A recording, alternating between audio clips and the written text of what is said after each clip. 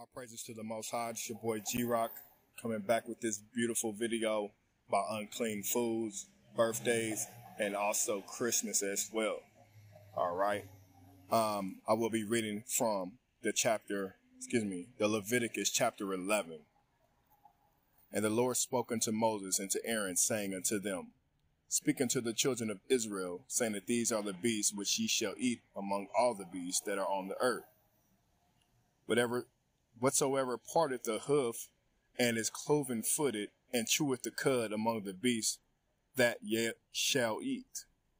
Nevertheless, these shall ye not eat of them that chew the cud, or of them that divide uh, the, the hoof, as the camel, because he cheweth the cud, but divideth not the hoof. He is unclean unto you. And the coney, because he cheweth the cud, but divided not the hoof, he is unclean unto you. And the hare, because he cheweth the cud, but divided not the, ho- the hoof, he is unclean to, unto you. And the swine, through the he divided the hoof, and he be cloven footed, yet he cheweth not the cud, he is unclean to you. Of their flesh shall ye not eat, and their carcass shall ye not touch, they are unclean to you. Can't even touch their carcasses, pigs. These ye shall eat of all that are in the waters, whatsoever hath fins and scales in the waters, in the seas, and in the rivers, them shall ye eat. And all that that have not fins and scales in the seas, and in the rivers, of all that move in the waters, and any living thing which is in the waters, they shall be an abomination unto you. Okay, I have to read that again. And that's verse 10. We'll go to verse 11. They shall be even an abomination unto you. Ye shall not eat of their flesh, but ye shall have their carcasses, but ye shall have their carcasses in abomination. Whatsoever have no fins nor scales in the waters, that yet shall be an abomination unto you. That is uh, verse 12 in Leviticus whatsoever have no fins, no scales in the water, that shall be an abomination unto you. All right, going to 13. And these are they which ye shall have an abomination among the fowls. They shall not be eaten, they are an abomination. The eagle, and the osprich, and the osprey, and the vulture, and the kite after his kind every raven after his kind, and the owl, and the nighthawk, and the cuckoo, and the hawk after his kind, and the little owl, and the cormorant, and the great owl, and the swan, and the pelican, and the gear, and the gyre eagle, and the stork, the heron after her kind, and the lapwing, and the bat. All fowls that creep upon, going upon all four, shall be an abomination unto you. We're not supposed to be eating bats, swan, none of that. All right, let me continue. Verse 21. Yet these may ye eat of every flying thing, creepy thing that goeth upon all fours, which have legs above their feet, above their feet to leap without upon the earth. Even these of them ye may eat, the locust after his kind, and the bald locust after his kind, and the beetle after his kind, and the grasshopper after his kind. But all other flying creepy things which have four feet shall be an abomination unto you. And for these things ye shall be unclean. Whosoever touches the carcasses of them shall be unclean until the even. To wrap things up here, if it does not have scales or fins, it is unclean, such as shrimp, etc. It's unclean. And there you have it. Shalom. And all the way through. Something from a few of the comments in my last video, specifically about birthdays. A lot of people may seem to think that birthdays are okay to celebrate because you're just celebrating another year. Let's see where it originated from. Just like every other holiday that's pagan, birthdays are also pagan. Pagans thought that evil spirits lurked on days of major changes like the day you turn a year older. So what they used to do to the birthday person is gather around them in a group, light some candles, and that was supposed to be a form of protection against the evil spirits.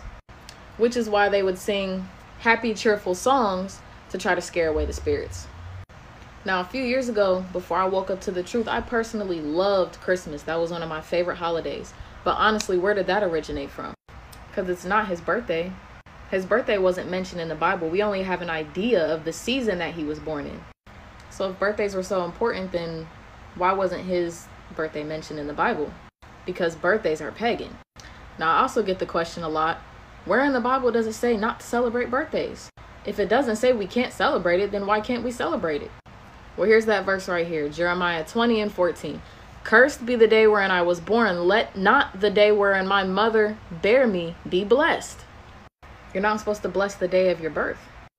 For in vain they do worship me, teaching for doctrines of the commandments of men. So every year, when you're saving up to spend your last dollar on holidays such as Christmas and birthdays, you're following commandments of men because none of that is said to do in the Bible. So for anybody saying, well, the Bible doesn't command not to do it, it literally does. And let me point this out again. But in vain they do worship me. Vain meaning pointless or useless, which means everything you're doing is useless to him. Now here's Christ's birthday. For the customs of the people are vain, meaning pointless, useless.